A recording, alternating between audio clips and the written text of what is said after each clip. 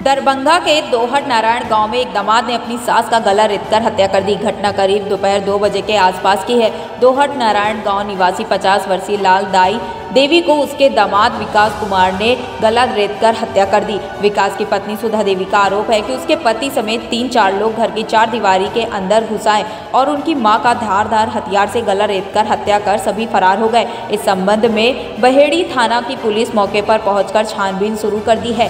थाना अध्यक्ष आशुतोष कुमार ने बताया कि महिला के शव को पोस्टमार्टम के लिए भेज दिया गया है। वहीं मृत महिला के पति रामस्वरूप मंडल मद्रास के किसी निजी कंपनी में कार्य करते हैं। परिवार वालों का कहना है सुधा की शादी चार वर्ष पूर्व हुई थी। शादी के बाद युवक अपनी पत्नी को लेन देन को लेकर प्रताड़ित करता रहता था। महिला के प्रताड़न से संबंध, इससे पूर्व भी एक मामला युवक के खिलाफ दर्ज कराया गया था। सुधा की शादी चार वर्ष पूर्व हुई थी। दोनों की एक दो वर्ष की बच्ची भी है। इधर मृत महिला की तीन बेटियाँ हैं, जिनमें फूलो देवी, शोभा देवी और सुधा देवी तीनों की शादी हो चुकी है। महिला के दो पुत्र नीतीश कुमार और मंजेश कुमार एक साथ बाहर रहते हैं।